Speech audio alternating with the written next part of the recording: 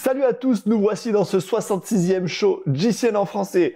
Aujourd'hui, on va débattre sur la question avec Florian de pourquoi si peu de cyclistes suivent un plan d'entraînement et est-ce qu'on peut réellement progresser sans C'est parti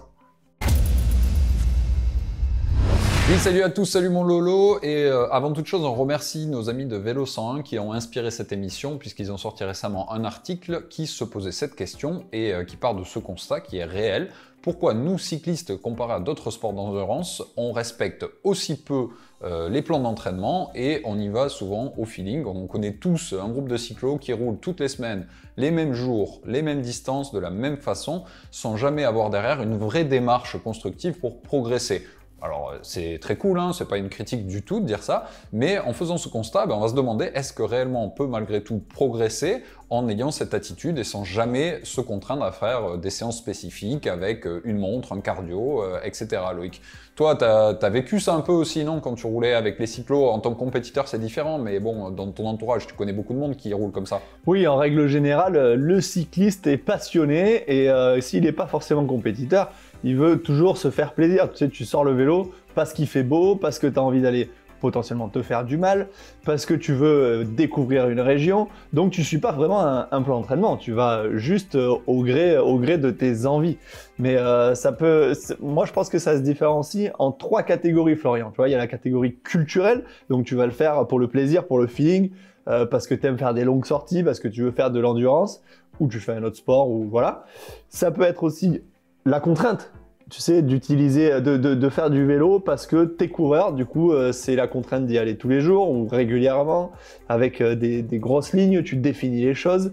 Donc là, forcément, le, plaisir y est, mais il passe par un autre stratagème. Tu peux ajouter Loïc dans la contrainte, la contrainte du matériel, parce que si on parle de faire des, exercices spécifiques, euh, ben, on est euh, contraint d'avoir un cardio par exemple, euh, tout le monde n'utilise pas un cardio, on est contraint d'avoir parfois ben, un capteur de puissance aussi, puisque c'est idéal pour faire du travail spécifique, chose que tout le monde ne possède pas et tout le monde n'a pas envie de posséder. Et tu disais du coup trois catégories, c'est quoi la dernière? Eh ben ça reste une contrainte, c'est la contrainte de l'âge. Alors si on est trop jeune ou trop vieux, on n'a pas envie de faire monter le cœur spécialement, ou euh, il vaut mieux pas le faire monter, tu vois, on sait, on sait pas forcément. Donc ça, là, je reste une contrainte aussi hein, sur les sorties qu'on va faire et la qualité des sorties qu'on va faire, les parcours.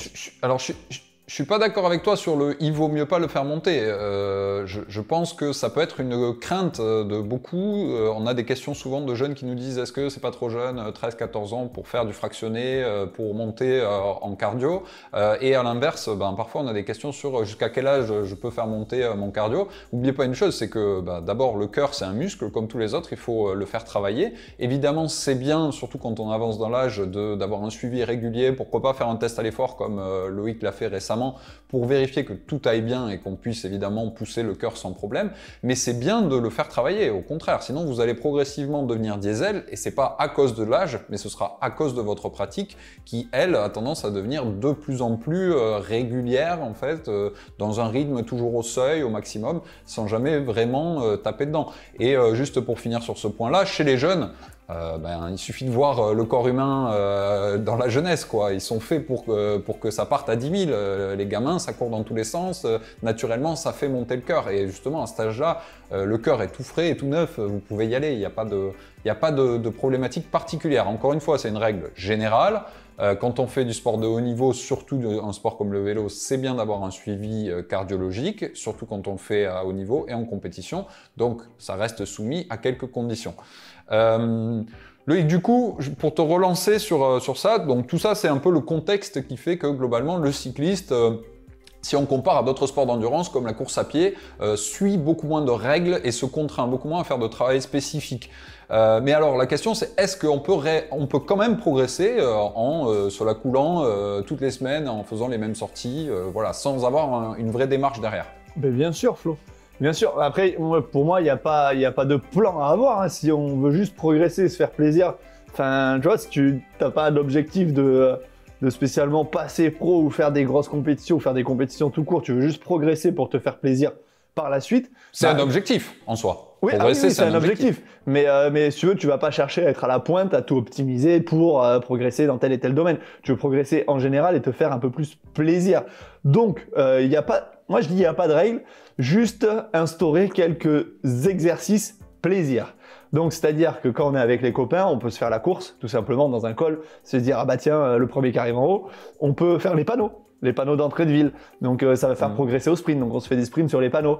Euh, on peut faire plein de choses, faire des exercices de force et de vélocité. Tu vois, quand on monte un col, par exemple, on va se dire, bah écoute, je fais un kilomètre en vélocité, un kilomètre euh, en force. Tu vois, donc tu suis, entre guillemets, un planning, mais c'est juste pour te faire plaisir et pour progresser dans ton domaine et te- juste évoluer dans le vélo. Oui, euh, je pense que tu as tout à fait raison, mais du coup, on en revient finalement à une forme déguisée euh, d'exercice spécifique. L'idée de ce que propose Loïc, c'est de dire, OK, on va pas rentrer dans l'extrême d'aller faire des sorties euh, spécifiques avec une montre à chronométrer toutes les 30 secondes, une accélération, etc. Mais on peut déguiser ça tout en prenant du plaisir avec les copains, le mercredi, le dimanche ou quand on veut, euh, sur certaines semaines dédiées de travail pour progresser, pour faire travailler, pourquoi pas le cardio, comme on l'a dit, pour faire travailler la force, la vélocité, etc. Euh, je pense aussi que la question, elle est, la réponse à cette question, elle est variable dans le sens où quelqu'un qui commence tardivement le vélo, qui par exemple a du poids à perdre, qui a énormément de marge de progression, va naturellement beaucoup progresser, même sans travailler très spécifiquement, juste en suivant les copains euh, la semaine. Quelqu'un qui fait du vélo déjà depuis 10 ans, 20 ans, 30 ans, qui euh, se connaît aussi bien, s'il tombe dans une certaine routine de rouler toujours de la même façon, risque de régresser ou de stagner, au contraire, euh, par rapport au fait de travailler plus spécifiquement. Donc ça va dépendre un peu de chacun. Mais pour revenir à tes propositions, ben, on peut aussi varier ses partenaires de sortie. Parce que euh, bah forcément, si on est dans une semaine où on va vouloir préparer, euh, faire du spécifique, eh ben, on peut éventuellement aller dans un groupe euh, un peu plus rapide qu'à l'accoutumée, qui va nous faire forcer davantage. Ou à l'inverse, si on est dans une semaine phase de récupération, eh ben, on va aller avec les copains les plus, les plus tranquilles. Quoi. Oui, ou les, les groupes cyclo en général. hein. Moi, je sais que par chez nous, on a des groupes cyclo A, B, C, D, c'est les catégories. Donc, les, les A, c'est ceux qui roulent le plus vite et ainsi de suite. Donc, si Comme on sur est... Zwift. Ben voilà, c'est pareil. Donc si on est en Mm. catégorie C ou D ou, euh, ou B, on peut se dire, ben voilà, euh, une fois par mois, je vais rouler avec les A euh, pour, euh, pour vraiment me rentrer dedans, pour faire une sortie un peu plus dure. Tu vois, tu peux varier ça. Ou après, je sais pas, si vous avez, des amis euh, qui sont coursiers ou même des pros peut-être euh, dans votre entourage, pourquoi pas les suivre euh, sur des entraînements de temps en temps, si ça les dérange pas, évidemment, il y en a qui aiment bien rouler tout seul, attention. Mais pourquoi pas les suivre sur des longues sorties ou autres, ça peut, être un complément, vous pouvez apprendre plein de choses et ils peuvent vous apporter énormément. Maintenant, Loïc, le conseil ultime, c'est ok, c'est bien, on a compris. Si on veut faire, euh, si on veut progresser, il faut faire travailler le cardio. Il faut euh, alterner euh, les phases de, on va dire, d'intensité, celle de récupération. Comment on peut faire pour donner un conseil assez simple pour avoir un planning ré- rétroactif avant un certain objectif, qui peut être tout simplement j'ai envie d'être en forme cet été. Ça peut, comme tu l'as dit, ne pas être lié à une compétition, mais juste voilà, j'ai envie d'être en forme cet été. je commence à rouler au mois de mai. Comment je peux structurer mes semaines? Est-ce que je fais toutes les semaines la même chose? Est-ce que tu vois Est-ce qu'il y a une logique à suivre derrière tout ça? Oui, il y a une logique. Donc déjà, on part sur euh, un mois de préparation en général avant l'objectif. Donc on se dit que la première semaine, on reprend, on commence à, à rouler un peu plus intensément que ce qu'on faisait jusqu'à présent, ou si on faisait rien, on faisait rien. Donc on commence à rouler pendant une semaine. La deuxième semaine, on va faire vraiment de l'endurance, donc chercher à faire des sorties plus longues. La troisième semaine, on va arriver sur du spécifique, donc on se fait une semaine où vraiment on va travailler l'explosivité, la force. Enfin, quoi que la force, tu peux la faire sur l'endurance, mais au moins l'explosivité, voilà, travailler bien sa vélocité et compagnie. Et la dernière semaine, c'est une semaine de récupération active. Donc on roule, on fait pas de sortie longue, ou peut-être une, histoire d'eux, mais les autres sorties, c'est plus tranquille, juste avant son objectif. Donc en fait, il faut se caler un minimum, faut pas se dire, voilà, j'ai la course dans un mois, tous les jours, je vais rouler, je fais 4 heures tous les jours. Ça sert à rien, tu vas arriver sur l'objectif complètement cramé.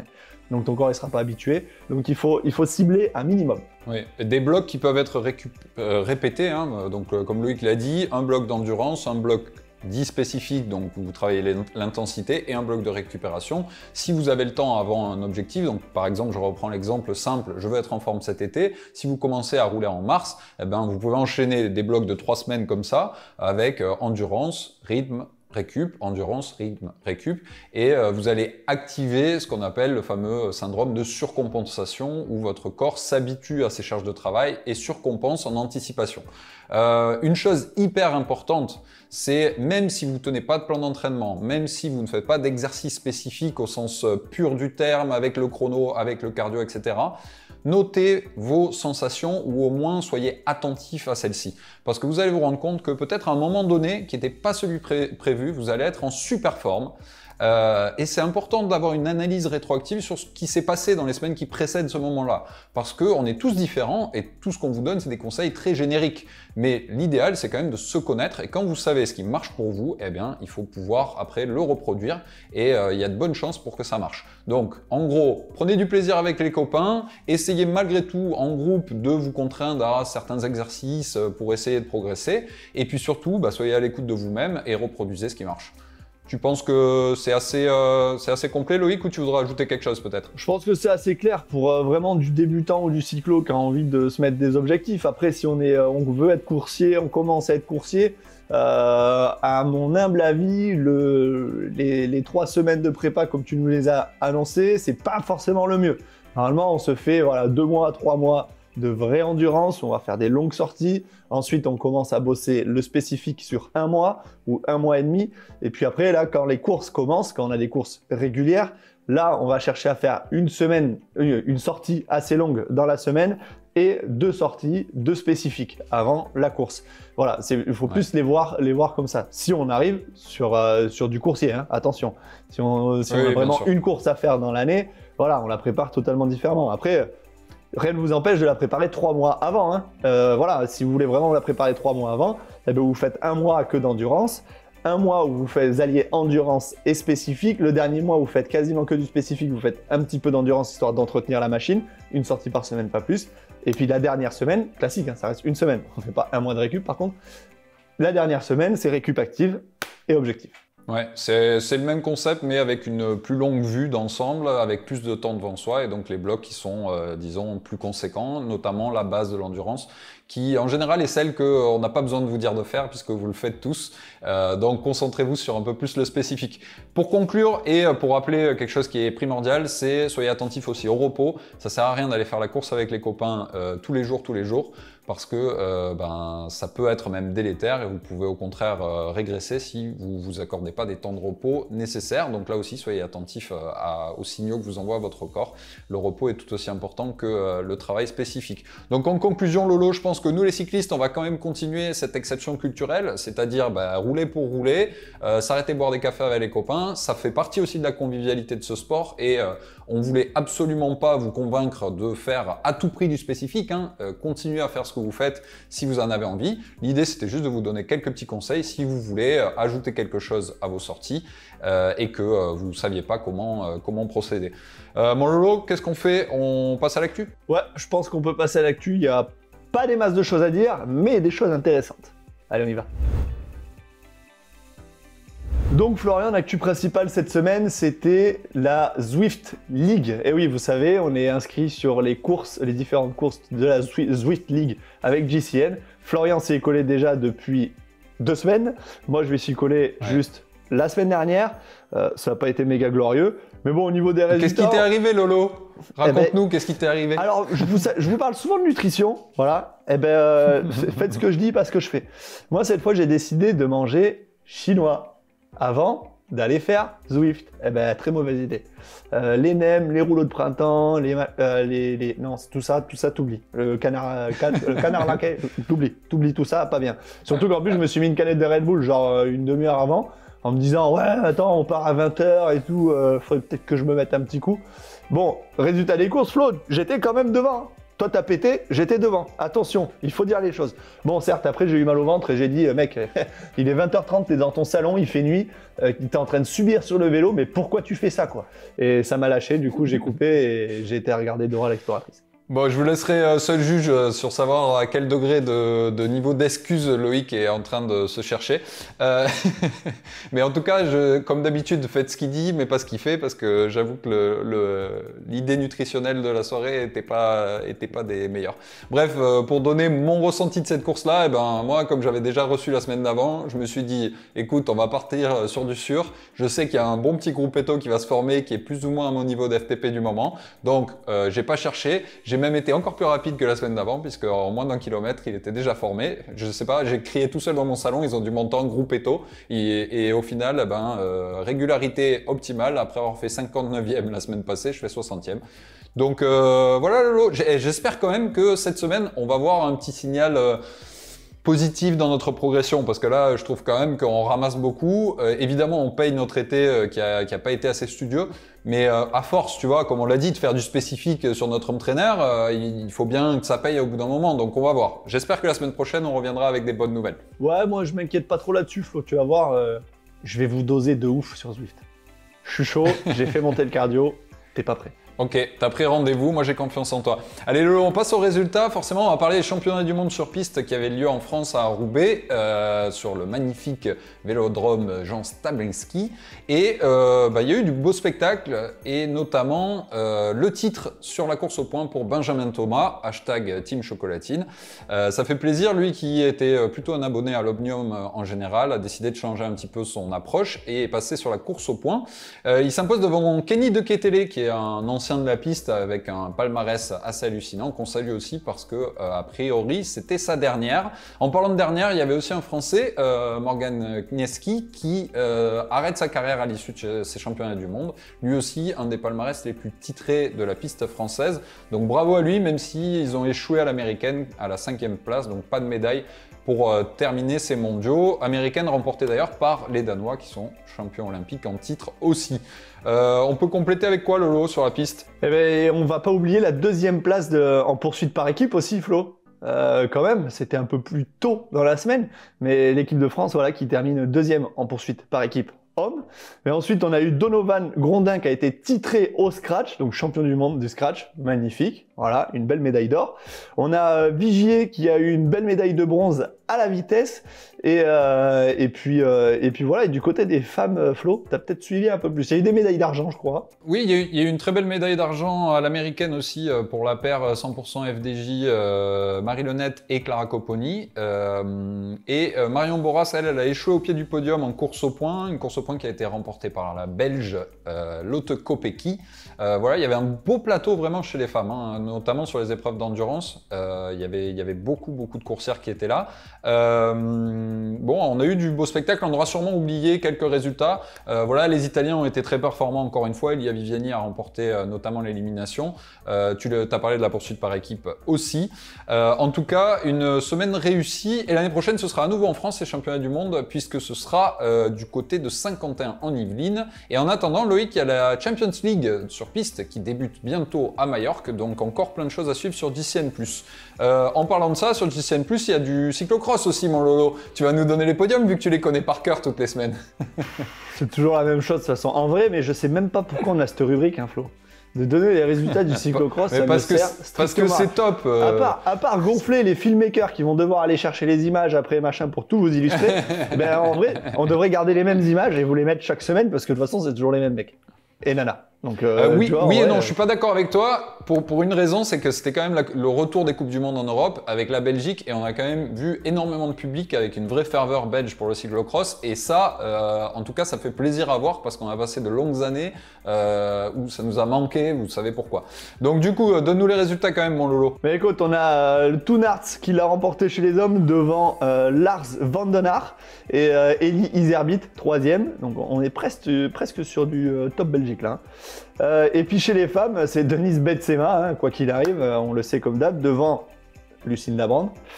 Et la troisième, Céline Del Carmen Alvarado. Voilà, bah c'est toujours, toujours, toujours les mêmes. C'est génial. Hein, l'ordre change un petit peu. Hein. On est encore en début de saison, on peut voir évoluer les choses. Euh, mon Lolo, on termine par le vélo de la semaine euh, avec une belle photo champêtre euh, de Emeric Godin 1988 qui apparemment avait des spectatrices et qui nous présente ce très très beau héroïne HR de 2021 équipé en Ultegra DI2. Moi j'ai trouvé cette couleur sympa ma foi, un espèce de bleu métallique avec des roues en 40 mm. Ouais. Roue JPM euh, en 40 mm, donc roue, euh, roue à l'italienne. Hein. Euh, ouais, beau bleu, beau dégradé, franchement, très joli vélo. Un peu dommage peut-être pour la selle, qui je trouve fait un peu massive sur ce, sur ce vélo, mais, Mais en soi, euh, belle machine. Belle machine et beau C'est vrai. À, à l'inverse de ce qu'on a dit la semaine dernière, attention, là tu croises un petit peu la chaîne hein, sur le vélo. Euh... va falloir revoir la pose du vélo. hein. On, on a dit il y a des règles bien précises. On met tout à droite, on met bien euh, les manivelles à l'horizontale. Donc euh, voilà, pour la prochaine photo, on peut encore améliorer un petit peu. En tout cas, très belle machine qui sera retrouvée dans le sondage cette semaine pour élire le vélo du mois et on donnera les résultats euh, la semaine prochaine dans le GCN Show. Et sur ce, ben, mon Lolo, euh, je te propose d'aller euh, te préparer un petit peu parce que euh, ça sent la course Zwift. Ouais, on va aller faire ça, hein, on va aller transpirer encore un peu plus. Mais bon, c'est pas grave. Moi, je m'inquiète pas trop, tu vois, sur mon état de forme, Florian. Toi, tu devrais peut-être plus t'inquiéter quand même, parce que je crois que t'as perdu quand même pas mal de watts ces derniers temps. Falloir arrêter la picole. moi, hein. je suis assez, je suis assez inquiet. Allez, la bise à tous, on se retrouve la semaine prochaine dans le GCN Show. Salut Ciao Bisous